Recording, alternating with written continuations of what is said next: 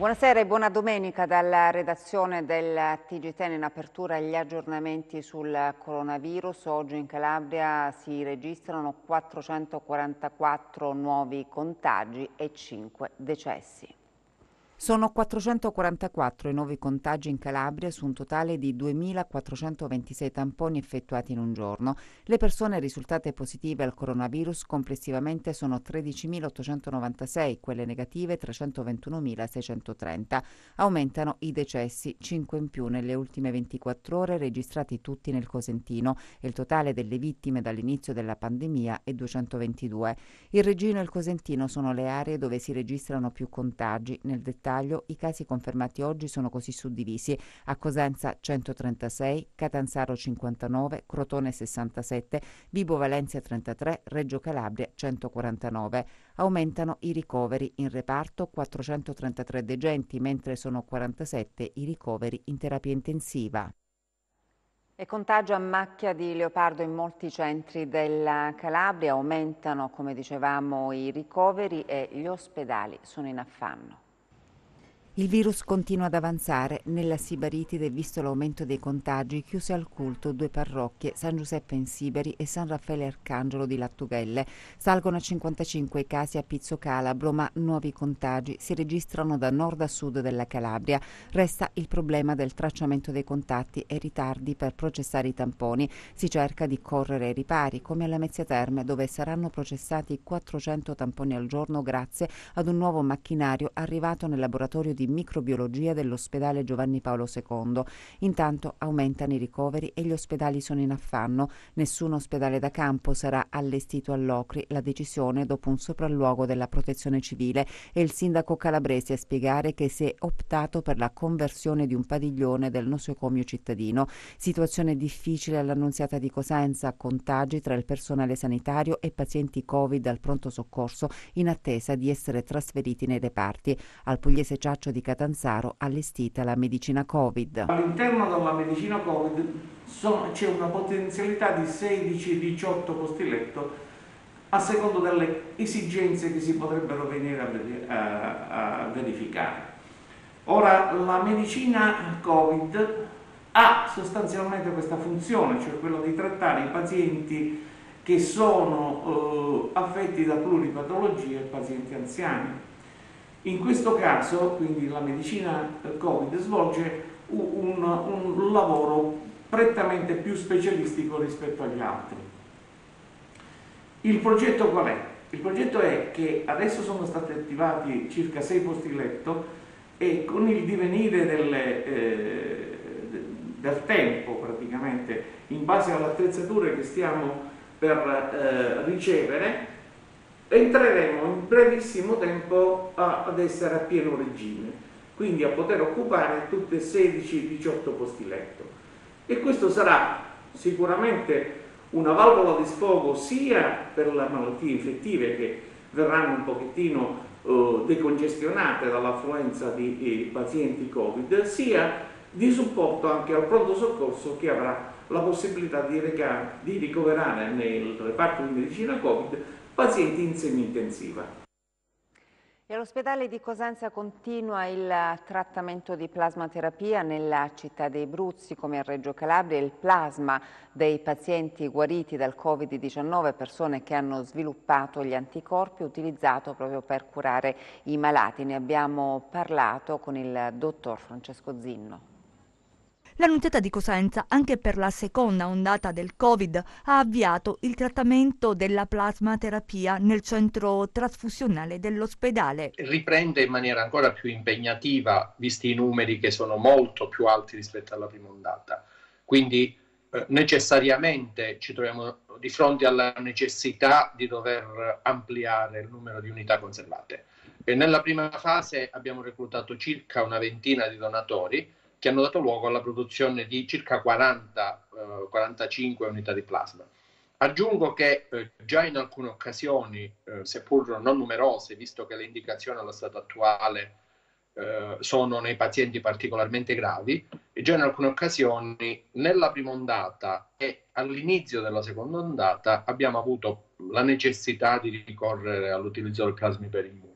E quindi I risultati, almeno per quello che ci riguarda, considerando tuttavia che ci troviamo di fronte a numeri bassi, come dicevamo, sono piuttosto promettenti. Ma per donare il plasma iperimmune, quali caratteristiche bisogna avere e quali risultati per i pazienti trattati con la terapia? Le caratteristiche che il, donato- il donatore deve avere è di essere negativo da almeno tre settimane rispetto all'ultimo tampone eh, effettuato.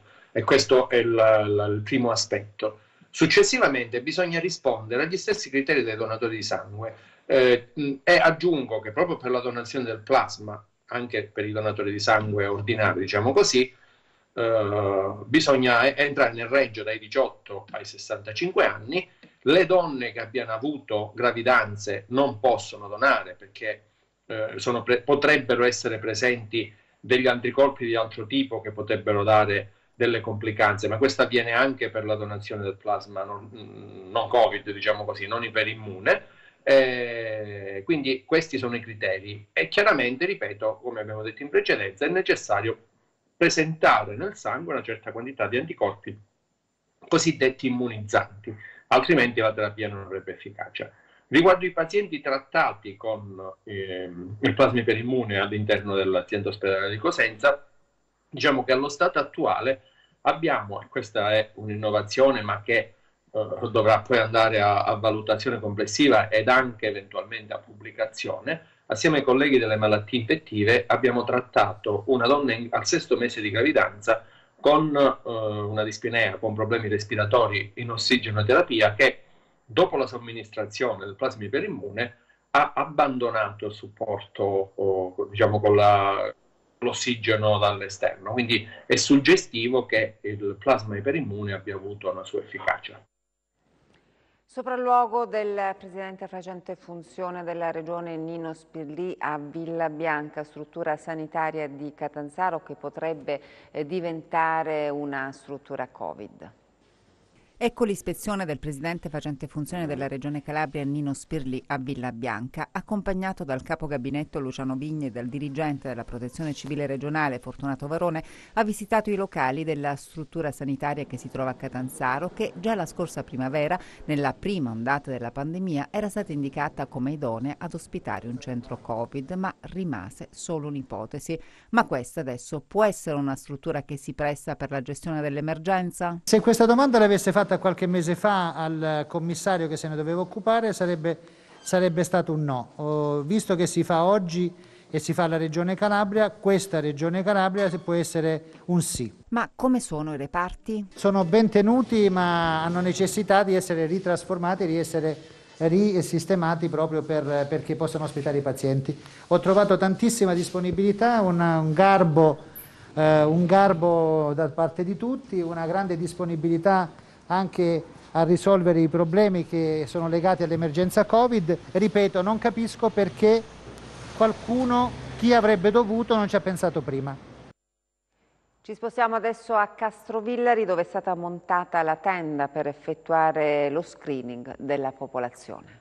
La prima giornata di effettuazione dei tamponi antigenici presso la tenda allestita nell'area mercatale di Castrovillari ha portato su circa 40 tamponi due positività, di cui una soltanto nuova, immediatamente posta in quarantena in attesa del tampone molecolare, ed una di conferma dei positivi accertati la scorsa settimana. Per noi è fondamentale questa attività, è fondamentale per capire qual è la realtà all'interno della nostra comunità perché solo in questo modo potremo prendere le giuste misure. Noi abbiamo attività economiche che aspettano di riaprire, scuole che giustamente vogliono lavorare in sicurezza. Solo mettendo in sicurezza attraverso appunto provvedimenti di quarantena potremo garantire una maggiore libertà di circolazione e di riapertura di tutte queste attività scolastiche e economiche che dicevo in precedenza. Il servizio per l'effettuazione dei tamponi rapidi antigenici verrà effettuato gratuitamente tutti i giorni, escluso la domenica.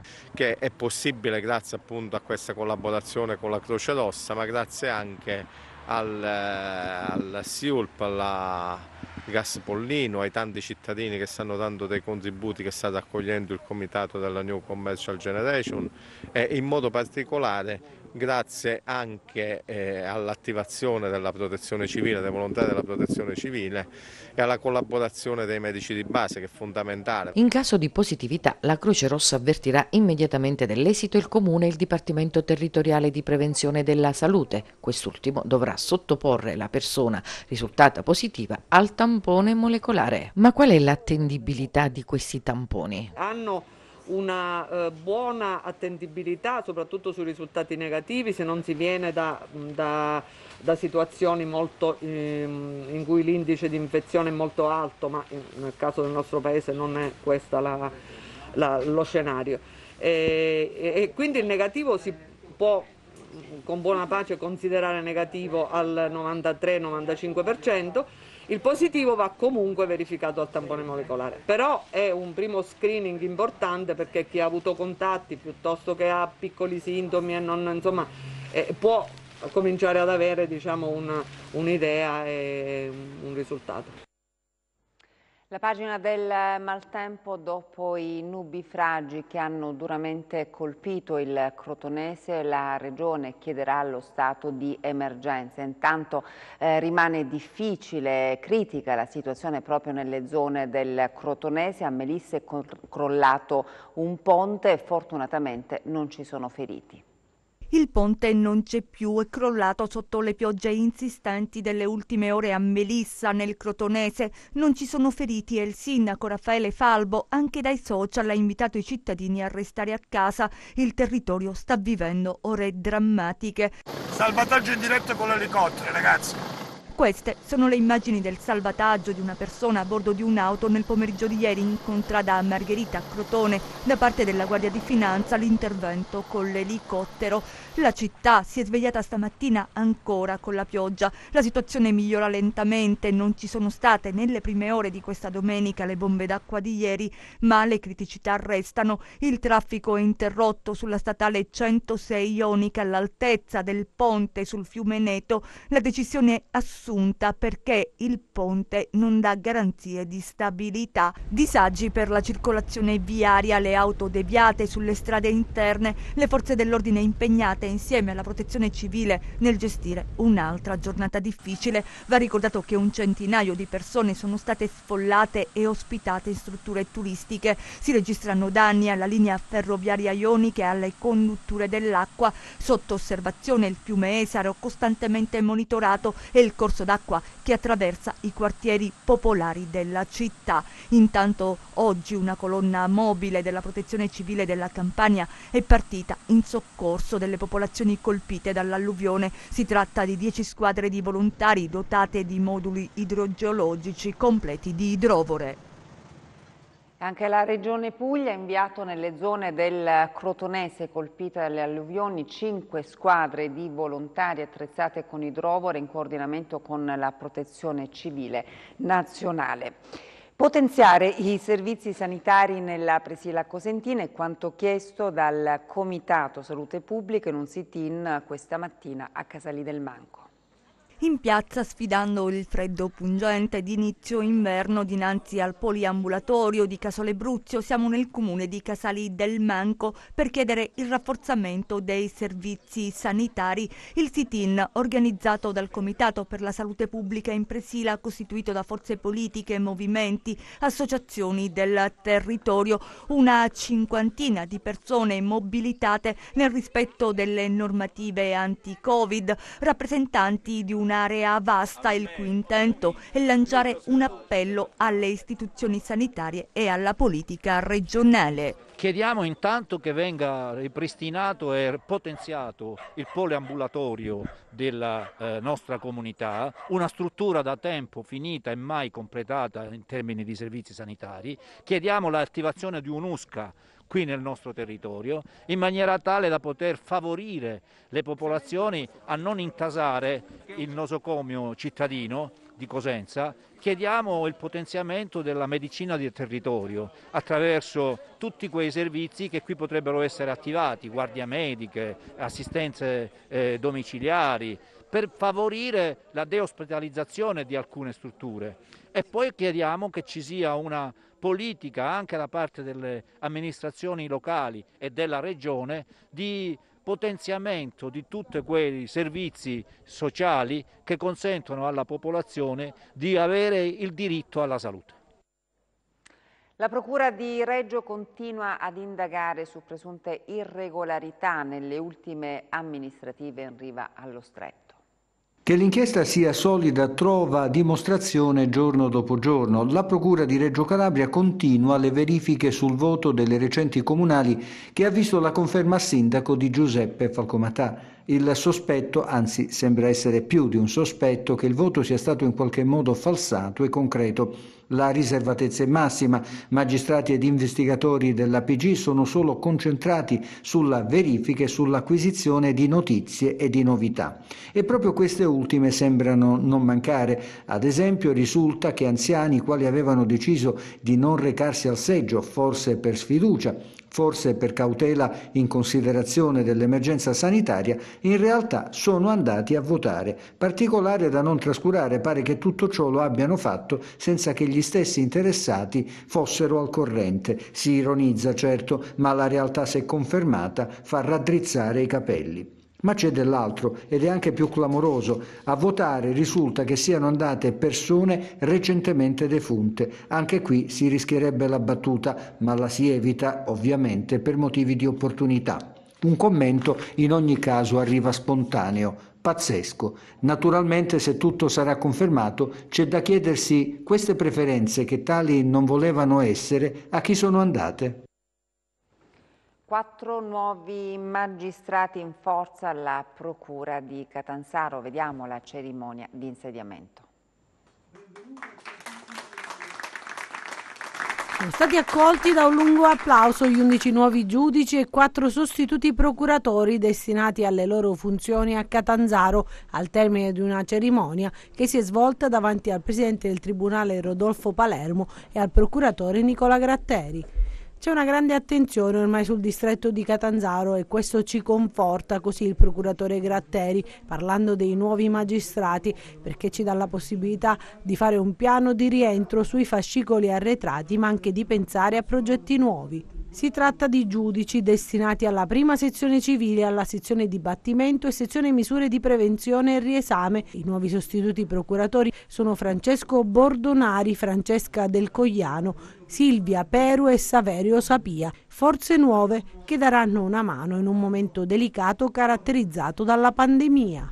Certo ci troviamo in un momento particolare, questo momento di, di contagio da Covid eh, rallenta un po' le attività, però diciamo, la, le funzioni giudiziarie verranno svolte tranquillamente dai colleghi in sicurezza e noi con, con l'aiuto con l'arrivo dei nuovi colleghi contiamo di fare sempre meglio, di svolgere sempre meglio l'attività eh, giudiziaria e di contenere i tempi di trattazione dei giudizi, anzi di abbattere le pendenze, come è stato fatto d'altro canto fino ad ora.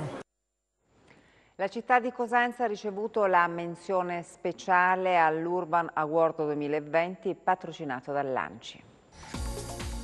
Il Comune di Cosenza, grazie alle buone pratiche in materia di mobilità sostenibile, ha ricevuto allo Urban Award 2020 la menzione speciale Intesa San Paolo. Dopo un'attenta analisi delle candidature, la giuria ha premiato il Comune di Cosenza per essere riuscito, questa la motivazione, a riqualificare quartieri della città trasformandoli in polmoni verdi a misura di bicicletta. Le immagini visionate dalla giuria hanno mostrato, si legge ancora nella motivazione, una città che può competere quanto a mobilità sostenibile e qualità della vita con i comuni più virtuosi del nord Italia. La cerimonia di premiazione si è svolta in modalità digitale a Roma durante l'Assemblea Generale di ANCI. Seguirà appena possibile, non appena le misure di contrasto al Covid-19 saranno meno stringenti, la consegna ufficiale del premio. La menzione speciale allo Urban Award 2020 è stata accolta con soddisfazione soddisfazione dal sindaco Mario Chiuto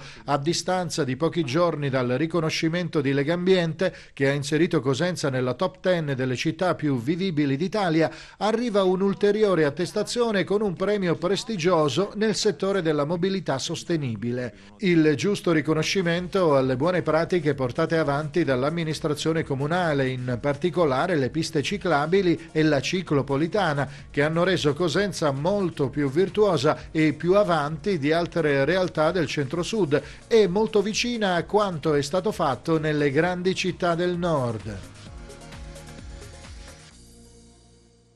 In chiusura le previsioni del tempo.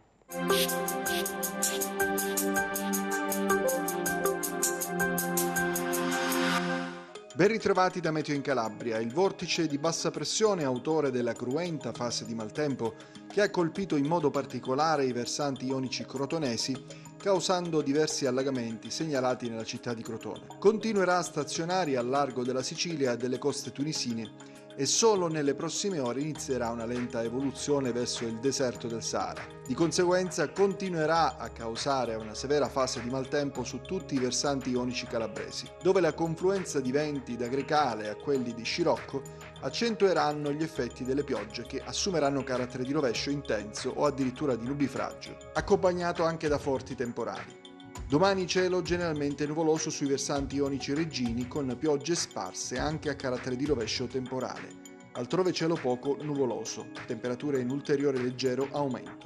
Passiamo a mari e venti. Domani poco mosso, mosso il Mar Tirreno con venti dei quadranti orientali, molto mosso il Mar Ionio con moto ondoso in diminuzione, a partire dai bacini settentrionali con venti moderati da scirocco. Per ulteriori approfondimenti vi rimando al sito www.meteoincalabria.com e alla nostra pagina Facebook Meteo in Calabria. Ed è davvero tutto, grazie per l'attenzione e buona serata.